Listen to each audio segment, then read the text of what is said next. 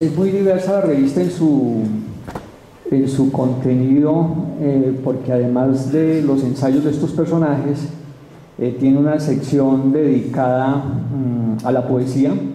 Maya, pues, estaría muy interesado en, eh, darle una expresión a, su campo de actividad artística.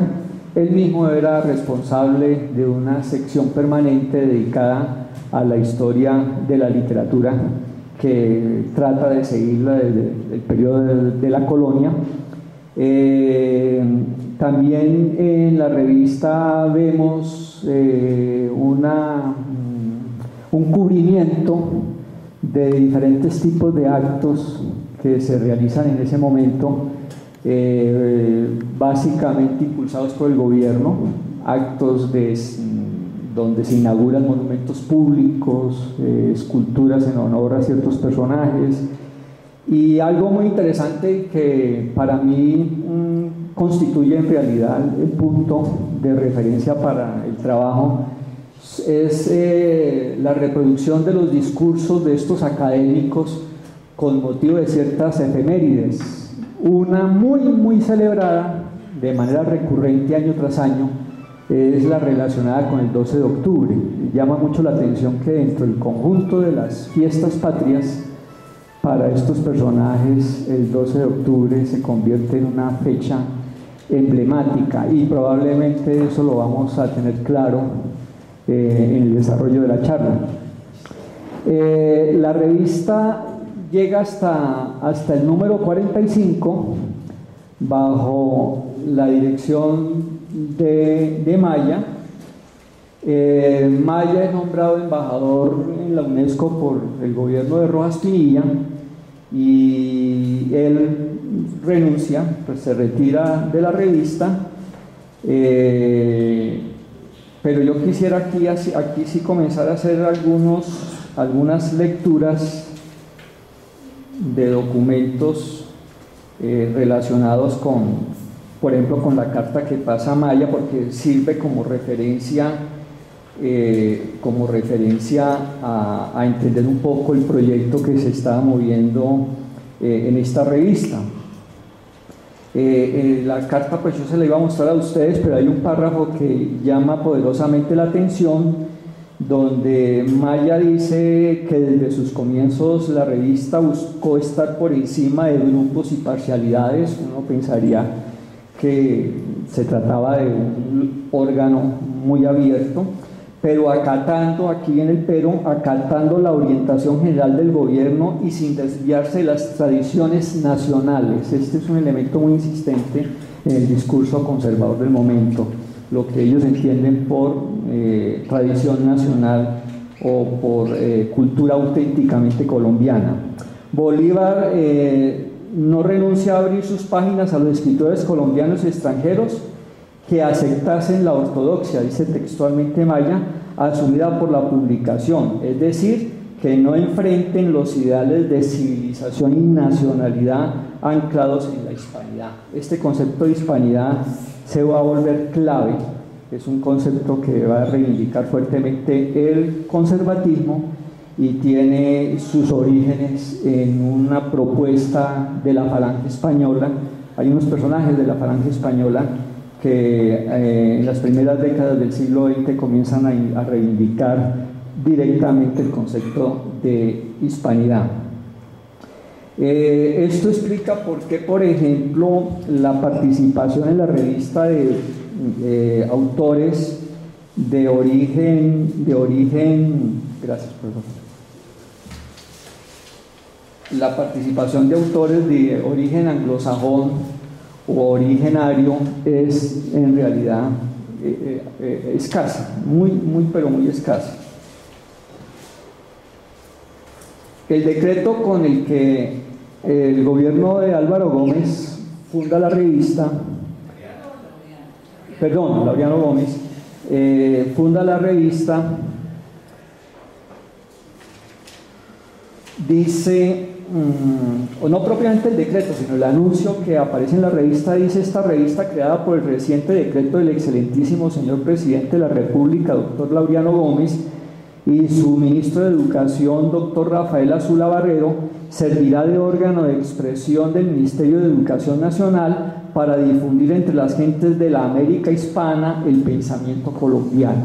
Muy importante esto. Fuertemente anclado en los ideales y programas del padre de la patria. Sin embargo, yo lo que observo es que la referencia a Bolívar es más bien de fachada, porque lo que sustenta todo este andamiaje de lo que el conservatismo entiende por pensamiento colombiano es más bien la, la noción de, de hispanidad. Eh, antes de haberse fundado la revista, que esto sucede en julio de 1951, eh, Laureano Gómez, en abril del mismo año, eh, ha decretado la fundación de una institución que se vuelve emblemática eh, para todo este proyecto de cultura y de nación.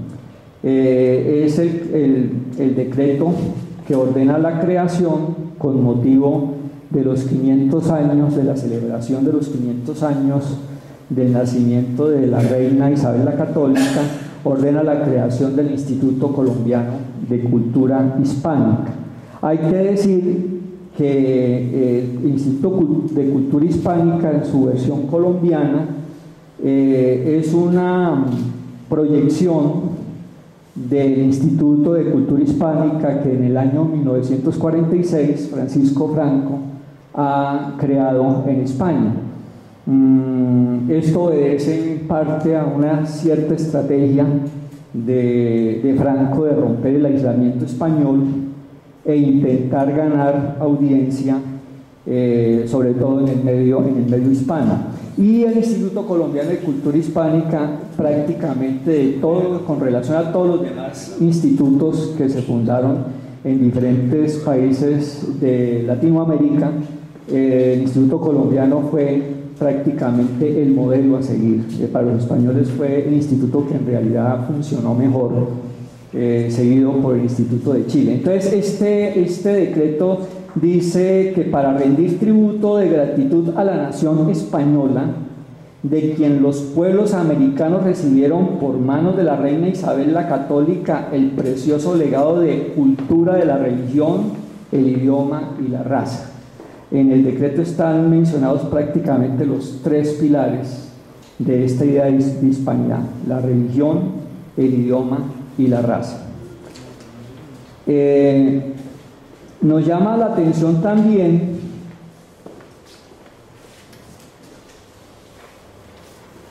la recepción que comienza a hacerse en, la prensa, sobre todo en la prensa conservadora, de los primeros números de la revista. Todos estos son documentos que aparecen en la misma revista. Por ejemplo, al hacer la recepción de esos primeros números, el diario El Pacífico del Cali eh, señala lo siguiente, ha terminado el periodo de sumisión a los dioses importados. Entonces el discurso nacionalista aquí es bastante importante. Ya no son Lenin, ni Marx, ni Azaña, ni los otros oscuros escritores de la izquierda española los que le dan alimento intelectual a la nación colombiana. En la rica fuente del pensamiento bolivariano hay luz para la inteligencia de las nuevas generaciones esa es la tarea eminentemente patriótica del Ministerio de Educación y de todas las publicaciones que se hacen ahora bajo el sello oficial. Regresamos a la nacionalidad, en, en lo que ella tiene de perdurable, el catolicismo y el legado histórico de nuestros próceres. Esa es una de las reseñas. En el número uno de la revista, eh, un académico de la Academia de Historia eh, aparece reseñada el, discurso que este académico mm, ofreció con motivo de, de estas celebraciones que con un año de anticipación comienza a celebrar eh, el gobierno de Laureano Gómez a propósito del quinto centenario del nacimiento de la reina.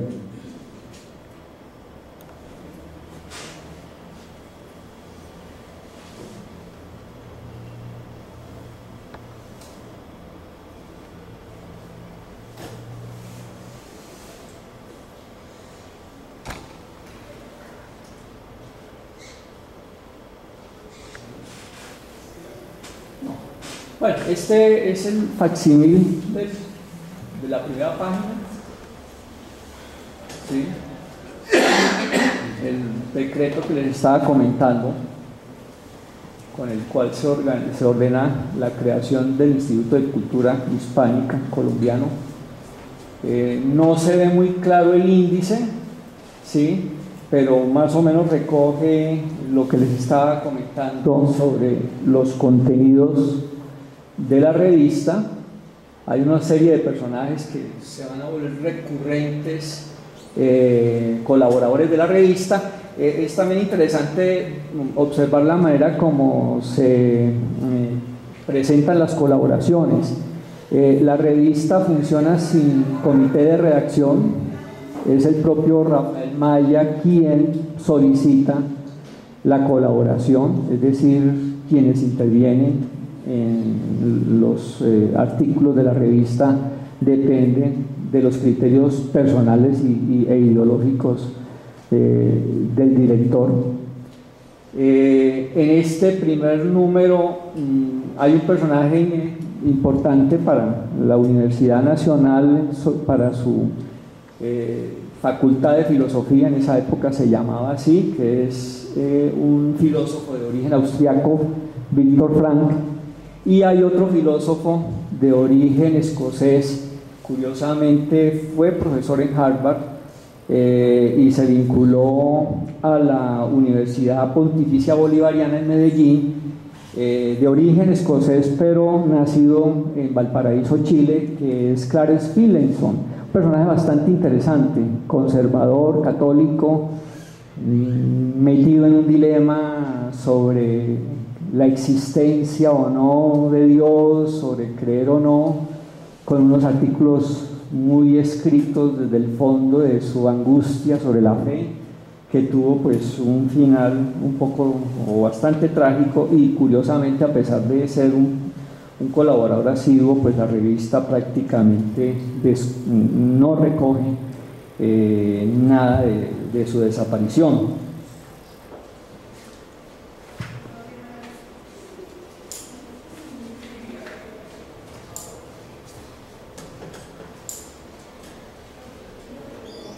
Esta es la carta que les comentaba. Eh, la carta está dirigida al que en ese momento era ministro de, Educación, Gabriel Betancourt Mejía, padre de Ingrid Betancourt, posteriormente ministro de Educación de Carlos Lleras Restrepo y fundador del ICETEX. Eh, aquí se inicia un periodo completamente distinto de la revista. Es cuando eh, el gobierno del Frente Nacional eh, toma la dirección de la revista a partir del número 51 del año 1959, durante el gobierno de Alberto Lleras, toma la dirección de la revista mm, Jorge Mario Isma. Si ustedes miran el índice de los colaboradores únicamente revisando los primeros cinco colaboradores, notamos que efectivamente, efectiva, el problema es que si apagan entonces yo no puedo mirar acá. No. No, yo simplemente le cuento, eso no, hay problema, yo le cuento quiénes son los colaboradores. Está Danilo Cruz Vélez, Orlando Falsborda, Gerardo Molina y Alfonso López Miquelsen y Marta Traba y Jorge Gaitán Durán. Ya con esos nombres es bastante significativo eh, los, personajes que, que, han comenzado a participar en esta revista. Pues.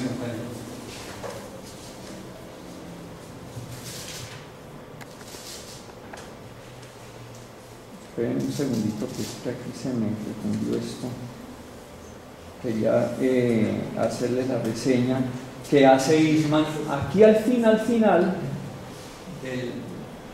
del, sumario con estas siglas JME eh, dice una revista auténticamente nacional. Eh, y es un pequeño artículo de Jorge Mario Isman que voy a leer una sinopsis de él para que se den cuenta qué visión tenía el nuevo director de lo que había sido la revista y de lo que debería ser de aquí en adelante. Dice mm, Isman, eh, o expresa Isman su decisión de variar la orientación anterior, fijada por nuestros ilustres predecesores, a, quienes acusa de inmovilismo académico, de entretener sus horas en el debate de temas anacrónicos definitivamente superados y ejercer una dictadura publicitaria que desconoce la importancia creadora de escritores de indiscutible mérito por atreverse a disentir de un status quo que nadie ignora equivocado e improcedente. En nombre de una revista auténticamente nacional, el, término pues es bastante problemático, el nuevo rector repudia por igual la literatura extranjerizante como el nacionalismo mal entendido de nuestros académicos. E insisto que cuando se usa el término académico se está refiriendo a estos personajes formados alrededor de las academias de lengua y de historia. Pero a la nueva actitud que reivindica eh, Isman apela, como los conservadores, a la escurridiza noción de eh, cultura auténticamente nacional. Sin embargo, pues es claro que mm, la revista cambia completamente su orientación. Eh, esta es, ahora sí, si quieres, Elena, por favor. Gracias, muy amable. Eh, esta es la portada de la revista. Eh, bastante significativa. Bastante significativa eh, por los componentes, los elementos que la componen. La espada, atravesada por la pluma. es también, digamos, un, modelo de héroe, de, de paradigma, de, de personaje histórico para el conservatismo, insistir en que desde la conquista, comenzando con la conquista y pasando por la independencia y continuando con la vida republicana, nuestros hombres, nuestros héroes no fueron simples hombres de guerra. Si fueron hombres de guerra, eso lo tienen que reivindicar, pero hombres de guerra letrados, eran guerreros eh, que también podían eh, cambiar la pluma eh, por la espada o viceversa. Y hay un horizontal más grande pues con el nombre de Bolívar y eso tampoco es gratuito. esa es la contraportada de la revista, que es el escudo de Bogotá. También vamos a ver que para el conservatismo Bogotá tiene un significado eh, supremamente importante por lo que representa para los conservadores la fundación de la ciudad y lo que, los sucesos que después se dan dentro de la ciudad. Y volviendo a la portada, eh, pues es claro que se está representando aquí la imagen, la imagen de una cruz. ¿no? Es decir, se trata de personajes letrados, versados en el arte de la guerra y cristianos. Esos son tres elementos supremamente importantes. Ahora sí le pido el favor, me la luz. Gracias.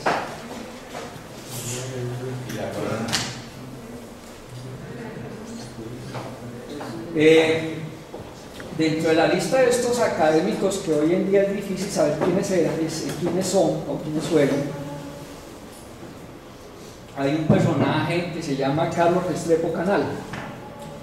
Eh, él visita Madrid en el año de, 1500, de 1952 y pronuncia, mm, por invitación del Instituto de Cultura Hispánica de Madrid, pronuncia un discurso que él titula Bogotá y la cultura colombiana.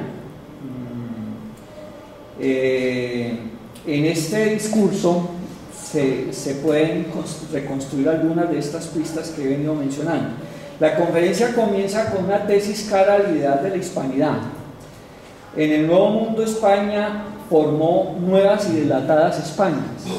Se trata de una misma cultura con diferentes coordenadas geográficas, la España americana y la España europea. Yo vengo aquí Hoy, dice Canal, Ramírez Canal, en calidad de invitado del Instituto de Cultura Hispánica para visitar a la Madre Patria y en mi calidad de director de la sección colombiana del Instituto Gonzalo Fernández de Oviedo a hablar de la hispanidad de las ciudades colombianas y principalmente de Santa Fe de Bogotá. Es, importante ver que Santa Fe se vuelve como el centro, eh, eh, de el centro de donde se irradia y de donde se conserva lo esencial de la cultura y de la hispanidad. Declara que viene acompañado del director del Instituto Cabro y Cuervo, que en ese momento era mm, Rivas Saconi, del embajador de Colombia en, en, España, que era Guillermo León Valencia, del ministro de Educación, que firma el decreto de fundación de la revista, que era Rafael Azula Barrera, del secretario de la embajada, que era el poeta Eduardo Carranza, motivados todos por el mismo patriótico fervor hispanista. Es interesante ver esto, este juego entre lo patriótico y lo hispanista. Señala que algunos de ellos, en asocio con otros connocionales, como testimonio de admiración por la ilustre memoria cinco veces centenaria de los reyes católicos, fundadores de América, han decidido fundar el Instituto Colombiano de Cultura Hispánica para solemnizar este glorioso centenario. Monseñor Rafael Gómez Hoyos, que es otro asiduo colaborador de la revista y quien fuera director también del Instituto de Cultura Hispánica, recuerda que era el objetivo de la sección del Instituto en Colombia avivar el conocimiento del pasado común y del impulso cristiano que lo fortaleció y mantener en esto el espíritu de nuestra cultura como estilo de vida encarnado principalmente en la conducta y no exclusivamente en el saber. Fue bajo el centro de los reyes de Aragón y Castilla, continúa en su discurso Restrepo Canal, estos discursos son eh, recopilados por la revista, que se expulsó al infiel, se efectuó el descubrimiento del continente americano y se inició la evangelización. Fueron portaestandartes de la Iglesia de Roma y benefactores de los naturales del Nuevo Mundo y ciñen sus sienes con una aureola de merecimiento, de genio y de grandeza, todo esto referido a los reyes católicos, que agiganta y dignifica sus figuras de modo especial. Para el caso de nuestra historia es a través de la Fundación de Bogotá, y aquí es donde comenzamos a ver el interés que tiene el acto de la aparición de Bogotá, que se ingresa de manera definitiva a la hispanidad, gracias a la formidable empresa militar y civilizadora, se juega entonces con los dos elementos, de la espada y la pluma, de don Gonzalo Jiménez de, de Quesada, paradigma del del hidalgo español del caballero cristiano que después de atravesar la impenetrable, la impenetrable manigua del trópico y derrotar al ídolo de los salvajes que se quiebra y se derrumba al empuje del brazo español, procede a fundar la capital del nuevo, del nuevo reino con el muy piadoso nombre de Santa Fe, levantándose, levantando 12 bohíos y una capilla para que no quede duda que los cimientos de la nación son los mismos de la iglesia fundada por Cristo y sus doce apóstoles. Para el país constituye una fortuna, dirá otro intelectual conservador, ser conquistado no por un aventurero e ignorante brutal, sino por un hombre culto y letrado, que sabía menear a la vez la espada y la péndula, dice Restrepo Canal Después, a la naciente capital le cabría el honor de ser distinguida por los propios reyes, junto con Tunja, con títulos muy nobles y leales y pomposos escudos de armas que la revista recuerda en su contraportada.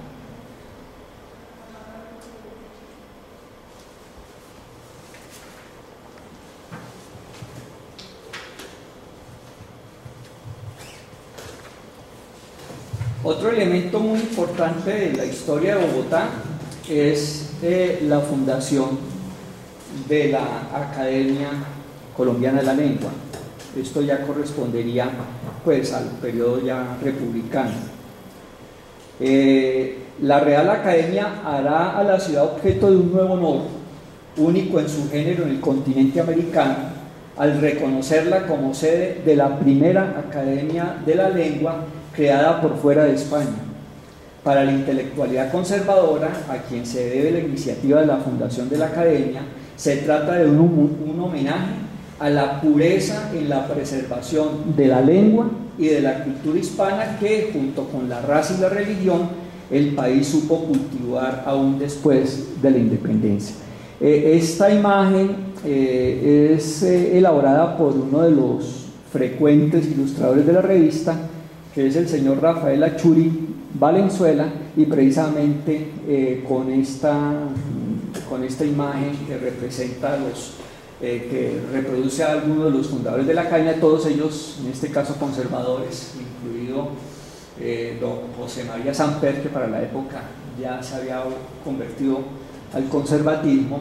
Mm, eh, esta imagen ilustra, decía el artículo de Ramírez Canal sobre Bogotá y su importancia en la cultura, en la cultura colombiana.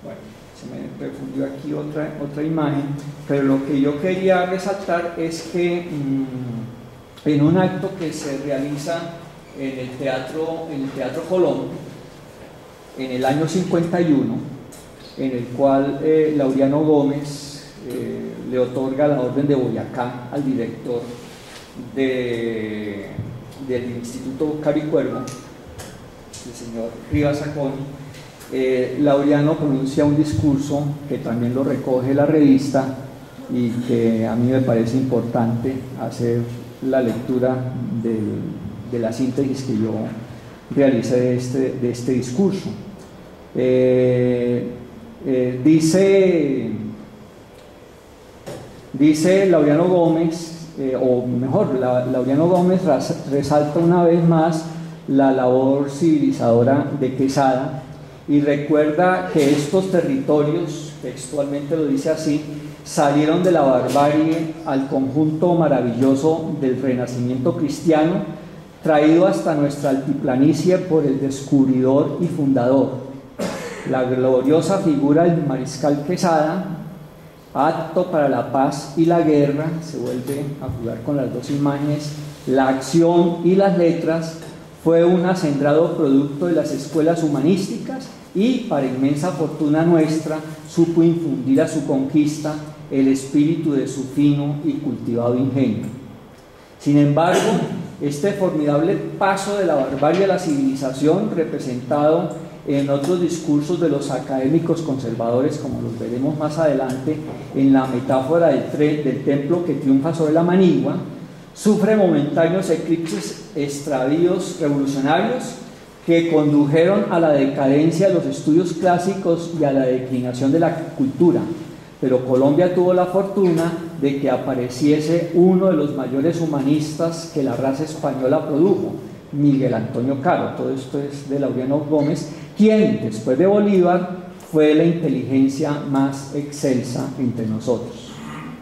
Por su parte, recuerda Restrepo Canal en su discurso que veníamos mencionando que la figura más hispana del nuevo continente entre nosotros fue Bolívar y la que muestra cuál fue el espíritu de la emancipación, donde el elemento hispano y no el indígena eh, inició el movimiento separatista.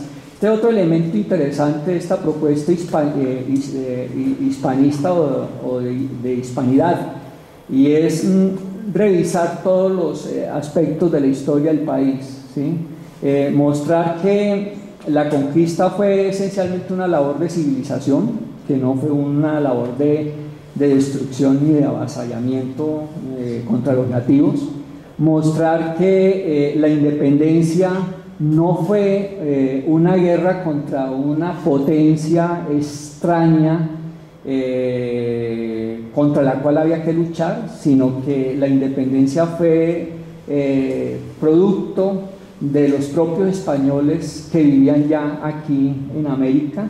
De ahí la insistencia de que América es España en este continente, ¿sí? Y, permanentemente hablar que la independencia no consistió eh, sino solo en un acto muy natural del hijo que, llegada, que llegado a su mayoría de edad, pues de manera muy natural debe eh, independizarse de sus padres, pero nunca hablar mal de ellos. Esa imagen de la madre patria, etcétera, etcétera, pues es muy, muy continuo en, los, en estos planteamientos. Eh, incluso con la independencia, eh, dice Restrepo Canal, eh, la hispanidad no fue abolida. En términos metafísicos, ella es la esencia que se conserva en medio del devenir histórico. Los héroes de la independencia, los padres de la patria, no son indígenas sino hispanos que pese a su rebeldía perpetúan la tradición que heredaron de los mayores.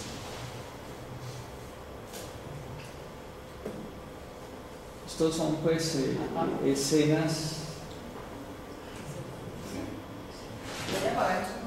Bueno.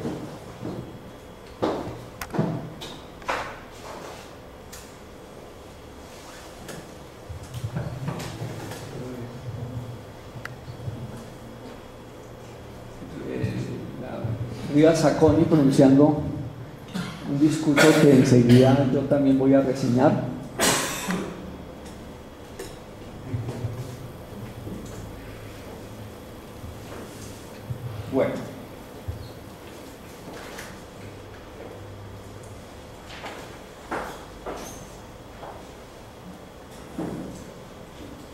Eh, me voy a ocupar, pues el, tiempo no da para más, me voy a ocupar básicamente de esa primera fase de la historia que sería la conquista. Eh, en los discursos del conservatismo se repite de manera permanente ¿sí? que la conquista fue un trabajo no solo contra los que vivían en la selva, sino contra la propia selva. ¿no? Había que acabar la selva y todo lo que representaba allí de barbarie para poder eh, dejar despejado el camino hacia, hacia la civilización. Eso nos permite explicar por qué eh, eh, celebraron con tanto entusiasmo la fecha del 12 de octubre ¿sí? y por qué enfatizaron tanto en que ese 12 de octubre, a diferencia de lo que sucede en otros países de América e incluso en los propios Estados Unidos, donde el 12 de octubre se conoce más bien como el Día de Colón, o en otros países de América donde el 12 de octubre se celebra como el Día de la Hispanidad, el conservatismo insistió mucho en que era el Día de la Raza, porque el elemento de la raza también era un componente importante de esta idea de, de civilización. Religión, raza y lenguaje eran pues prácticamente los, las herencias que se había recibido de España y que la nación tenía que preservar. No hay fecha más propicia que el 12 de octubre, eh, celebrado con mayor ímpetu en la revista que otras fiestas patrias para que, para que la cultura oficial conservadora elaborara y difundiera su discurso sobre la civilización. Con, con frecuencia se refleja en estas celebraciones antipatía y animadversión contra el trópico y sus habitantes y su naturaleza, empleando de manera recurrente como figura retórica la imagen de la manigua que hay que destruir o someter, no importa cuál sea el grado de violencia necesario. En una de estas efemérides, el 12 de octubre de 1953, comillas, delante del caudillo que recobró España una vez más, Rafael Maya pronuncia la lección de Salamanca discurso que clausura el Congreso de Universidades Hispánicas. El hecho de que Maya sea el encargado de pronunciar el discurso de clausura eh, delante de Franco, pues es un síntoma o una señal de, la importancia que tenía la labor de estos intelectuales o el reconocimiento que tenían en España. Eh, este Congreso de Universidades Hispánicas, o sea, el Instituto de Cultura Hispánica de Madrid realizó varios eventos.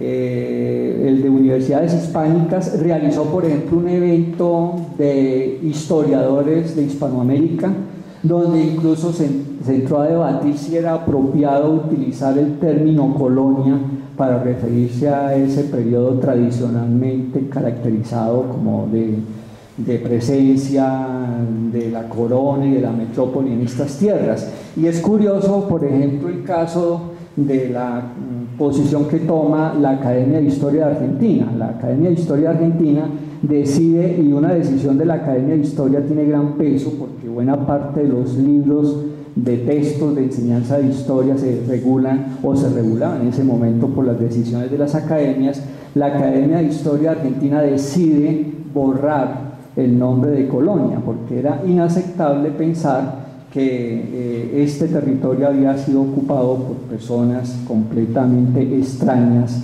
a, las, quienes vivían aquí, en el sentido de que ellos fueron realmente quienes trajeron cultura y por lo tanto su labor no fue de avasallamiento, de ocupación, sino de civilización y de crear un, mundo que era completamente inexistente. Entonces, eh, eh, dice Maya en su lección de, Salamanca cosas como la siguiente. El, el poeta exhorta a quemar la maraña tropical para dejarle paso al jacinto helénico o a la rosa de Castilla la frase sintetiza un ideal de civilización, de estética y de pedagogía representada en la arquitectura pétrea de Salamanca y en la poesía de su hijo Fray Luis de León, maestro, dice Maya, de cuantos aspiran a realizar esa suerte de disciplina mental que se llama sobriedad y aticismo. Ejemplo benéfico para los pueblos hispanoamericanos propensos al tropicalismo de la imaginación, Fray Luis, dice Maya, ha contribuido a podar la selva tropical. Por eso nuestros mejores escritores, los más proporcionados y armónicos, son, discípulos del insigne maestro. El joven latinoamericano es víctima del enervamiento tropical y de la tiranía de la sensualidad que asegura el predominio de la imaginación sobre la reflexión. Las universidades hispanas tienen la tarea, acuerden que es un congreso de clausura de las universidades hispanas, tienen la tarea de educarlos a través del estudio de la alta cultura para contrarrestar la influencia nefasta de la técnica y su proliferación de conocimientos especializados. Solo la formación humanística puede integrar el conocimiento fragmentado de los expertos pero el humanismo no es puro racionalismo. Para formar un ser armónico, racional, con sentimientos y pasiones en el orden, es necesario apelar al valor esencial de nuestra civilización, a Cristo, que es principio y fin de todas las cosas, clave de todos los problemas, respuesta a toda pregunta y que debe ser el centro vivo, universal y eterno de este humanismo hispánico. Maya declara que hace parte de una generación y de un gobierno que por fortuna continúa la obra civilizadora iniciada por España. El esfuerzo ha sido continuo, dice el poeta. El hacha que aún resuena en nuestros bosques repite los golpes que dio sobre los troncos casi antediluvianos el puño de aquellos varones que, domesticando la naturaleza bravía, prepararon la cultura del mundo nuevo. Eh, en el discurso de respuesta de Rivas Saconi al, otorgamiento de la Orden de Boyacá, eh, se van a encontrar unas imágenes bastante parecidas a las que acabo de mencionar. La selva, dice eh, Rivas Saconi, de lujuriante vegetación simboliza el estado primitivo del hombre con sus instintos incontrolados. El templo por su parte, representa la construcción del espíritu, el dominio sobre la materia, el reflejo de la razón, la vigencia de la ley. El templo se contrapone a la selva oscura. Es el símbolo de la cultura que lucha contra la naturaleza resistente y rebelde. La explanada de la línea del templo señorea ese espacio ganado a la selva en labor de todas las horas. Si la faena se interrumpiera, la maleza avanzaría fatalmente hasta invadir el sagrado recinto.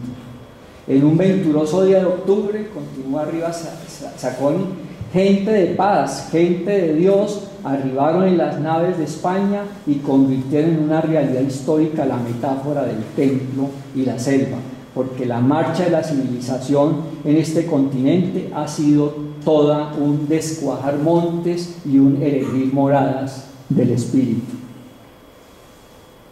Para fortuna de América, son estas personas que provienen de una nación que pasa por su mejor periodo histórico, continúa arriba Saconi, de plenitud y lozanía de su vida civil y cultural, quienes incorporaron al nuevo continente a la corriente de la cultura universal. Caro, en nuestro medio, logra restaurar el vínculo con este pasado grandioso. Él es el artífice del renacimiento que España experimentó en la época del descubrimiento. Con su interés por la cultura latina, revive los valores tradicionales de lo clásico. Su obra es a la vez nueva y antigua, clásica y revolucionaria. Tras una época de ensayos y exploraciones en una sociedad que había renegado de su tradición cultural, se refiere desde luego al radicalismo liberal, Caro logra fijar definitivamente los valores esenciales de la nacionalidad. Caro logra fijar definitivamente los valores esenciales de la nacionalidad. En lo político, libertad y orden en lo espiritual lo católico, en lo cultural lo clásico. Él representa la síntesis entre la colonia y la república.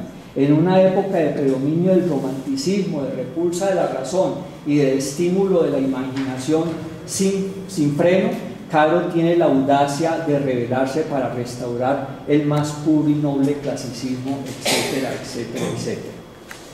Eh, voy a referirme a dos discursos más o no discurso, este sí es un artículo del que en la época 1952 era el presidente de la Academia de Historia, egresado de la Universidad Nacional en la Facultad de Derecho, quien es el doctor eh, Miguel Aguilera. Eh, es interesante que no obstante eh, Maya insistir en que Bolívar es una revista de la alta cultura, con mucha frecuencia aparecen en la revista secciones dedicadas al folclore popular. Y hay un artículo del mismo mm, Miguel Aguilera eh, que se inscribe dentro de esta línea de la investigación del folclore. Eh, dice, el artículo más o menos presenta la siguiente idea.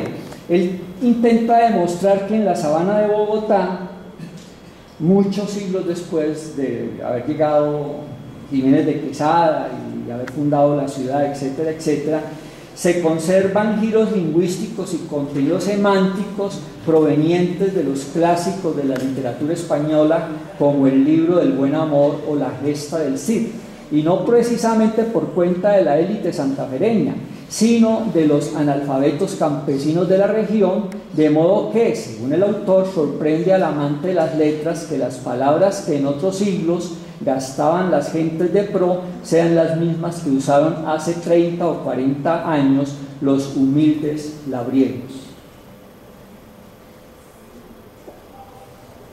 Pero esta feliz Arcadia rural aislada y detenida en el tiempo fue asaltada por una agresiva concepción de progreso que barrió cuanto había de galano en la fraseología popular, de modo que la mecanización industrial, y el igualitarismo democrático, dice eh, el doctor Aguilera, impusieron transformaciones léxicas que apartó a estos humildes de sus inconscientes vinculaciones con el legado clásico para dar cabida a expresiones toscas y mal avenidas con la urbanidad. Si hace medio siglo el, el labriego aumentaba los aparejos de la yugada, el de hoy habla de cloche y switch, y se internece citando a Lenin, Trotsky y Stalin como redentores de la humanidad en lugar de invocar los tres dulces nombres de Jesús, José y María. Por su parte, eh, don Carlos López Narváez, que fue director de extensión cultural de la Universidad Nacional durante el gobierno de Laureano Gómez y también director de la Radiodifusora Nacional, eh, hace otro texto dentro de esta línea de folclore que resulta interesante. Eh, él se ocupa de un relato de la tradición oral campesina de su nativa Cauca, que en apariencia da la impresión de reforzar el discurso oficial que contrapone el templo católico a la barbarie de la selva y del primitivo que la habita. La leyenda cuenta que en tiempos de la campaña libertadora en el sur del país, en la región del Patía, se difundió la historia del bulto, criatura deforme y monstruosa que habitaba la inextricable montaña de San Lorenzo, lugar donde siglos atrás los conquistadores levantaron, en franca lucha con la maligua húmeda y tenebrosa, la iglesia de Santa Rosina, para que fuera testimonio ante los siglos venideros de la victoria del divino poder sobre la naturaleza desconsiderada y demente. Pero el triunfo fue efímero, con rapidez vertiginosa o pausada firmeza, el templo de moles de Andesita fue invadido por la espesa vegetación y por la fauna que recobraba su dominio en pululación monstruosa. De la comunidad religiosa que prestaba sus servicios en el templo no quedó rastro, solo un viejo misionero franciscano, Fray Flores, habitaba las ruinas acompañado por su sobrino y por su feligresía, crédula barbarie sobreviviente que le atribuye al buen cura la celebración de ritos a las divinidades fluviales propias de los hechiceros indígenas para poder sobrevivir en medio de fieras carniceras y reptiles nauseabundos. Él, por su parte, alimentaba la leyenda al sonreír con malicia cuando le preguntaban cómo controlaba la feroz fauna. A pesar del abandono del lugar, en el interior del templo se conservaba la imagen de Santa Rosina, la patrona del sagrado recinto que la religiosidad popular convirtió en una especie de talismán para la guerra. Decían que quien se apoderara de la imagen podría triunfar sobre su enemigo, pero el sortilegio solo surtiría efecto si ésta quedaba en manos de un español o de un americano. La conseja llegó a oídos del general Latorre, jefe de las tropas realistas, y del libertador Simón Bolívar. Cada uno por su cuenta intentó la empresa, demostrando valor al desdeñar el temor que, los nativos, que en los nativos producía la leyenda del bulto y proceder a adentrarse en la densa selva. El primero que fracasó en el intento fue el general Latorre, quien después de penosa travesía y sin la ayuda de algún vaquiano indígena dio con el templo, pero cuando intentó ingresar, un portentoso felino clavó su fosfórica mirada en el intruso y con un sordo rugido desapareció en el interior de la iglesia. La torre tenía fama de valiente, pero con los tigres era otra cosa y lleno de pavor abandonó el lugar. Bolívar, por su parte, tampoco tiene éxito, él también huye atemorizado, en este caso por la súbita aparición del bulto, la monstruosa criatura tenida por los indígenas. De nada le sirvió, dice López Narváez, el racionalismo que aprendió en su juventud en los textos de Voltaire, Rousseau y Diderot. Qué filósofos ni qué frío raciocinio, toda la razón era de los indios. Derrotados los dos guerreros, el relato termina cuando se descubre que el tal bulto no era otra cosa que el sobrino leproso y deformado del fraile, que por su condición caratosa y el enfasiaco decidió acompañar al, al eremita en su soledad. La leyenda, aunque López Narváez no repara en esto, trasvalora varios supuestos de la cultura oficial, la clara separación entre civilización y barbarie que tanto agrada a Rivas, Sacón y Amaya se torna ambigua. El sacerdote sirve a una feligresía que en lugar de abandonar sus prácticas idólatras, las proyecta en la figura de un misionero chamán y brujo con poderes sobre fieles, sobre fieras dóciles con él, pero agresivas con los extraños que intentan entrar al templo y llevarse en la imagen de la santa. Lo sagrado y lo supersticioso se mezclan, lo salvaje y lo eh, divino se alían. Resulta imposible diferenciar entre la magia y el milagro, entre la santidad y la brujería, como según López Narváez le sucedió a los indígenas que convirtieron la imagen de Santa Rosina en un talismán para la guerra. Fray Flores además prefirió a su feligresía salvaje, a su templo habitado por fieras e invadido por lianas, en el, en el, amor a sus indígenas, dice López Narváez, había algo de desestima por lo civilizado. El templo, que al comienzo del relato es símbolo del triunfo de la civilización, del poder divino terrenal, del poder de los conquistadores sobre el hombre y la naturaleza salvaje termina convertido en un templo derruido, pero a la vez conservado y protegido eh, por las propias fuerzas que intenta dominar.